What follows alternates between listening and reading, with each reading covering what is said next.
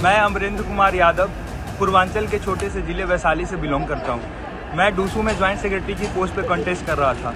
आज SPM college के बाहर जब मैं एसपीएम से अपना कैंपेनिंग पूरा करके लौटा, बाहर हमारे साथियों पे हमला किया गया, मुझ पे हमला किया गया। हमारी गाड़ियाँ तोड़ दी गई। मैं आप सभी को बताना चाहता हूँ कि हज़ार किलोमीटर दूर से आकर जब हम यहाँ पढ़ाई करने के लिए आ सकते हैं तो हम इतनी मजबूती रखते हैं कि हम यहाँ पर अपने आप को इस्टेब्लिश कर सकें। बावजूद इसके पूरे देश से दिल्ली विश्वविद्यालय में बच्चे पढ़ने आते हैं, मगर हमारा रिप्रेजेंटेशन क्या है?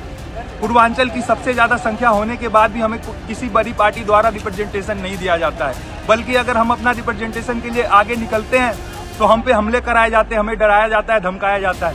मैं आप सभी को हाथ जोड़ के रिक्वेस्ट करता हूँ कि मैं इन लोगों से डरने वाला नहीं हूँ, हमारी टीम इनसे डरने वाली नहीं है। आपके जितने भी दम है, आप लगा लो, हम ना डरेंगे, ना झुकेंगे।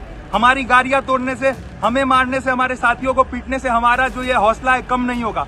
हम अपना रिप्रेजेंटेशन लेने आए हैं, हम अपना रिप्रेजेंटेशन लेके जाएँगे। सिर्फ़ बात रिप्रेजेंटेशन नहीं है, की नहीं है, बात कॉमन स्टूडेंट्स की है। क्या एक कॉमन स्टूडेंट दिल्ली यूनिवर्सिटी में सेफ़ नहीं रह सकता है? क्या एक कॉमन स्टूडेंट को यह अधिकार नहीं है कि वो दिल्ली विश्वविद्यालय में चुनाव लड़ सके?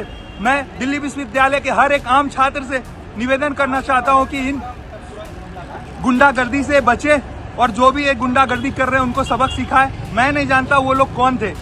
वो लोग अननोन थे, वो सबके मुँह पे मास्क था। कहीं ना कहीं सब मुँह पे कुछ ना कुछ बाँध कर आए थे। उनकी पहचान तो हमने नहीं की। मगर जो भी ये अराजक तत्व थे, मैं आप लोग से अपील करना चाहता हूँ कि ये जो बड़ी संगठने हैं, जो हमें रिप्रेजेंटेशन नहीं दे रही है उल्टे हमें डरा रही है, धमका रही है, उनसे दूरी बनाए और हमारी आम छात्रों की मजबूती को करो। छात्र नेता की आप बीती सुनिए। कल शाम सात बजे एबीपी लाइव पर। Thank you.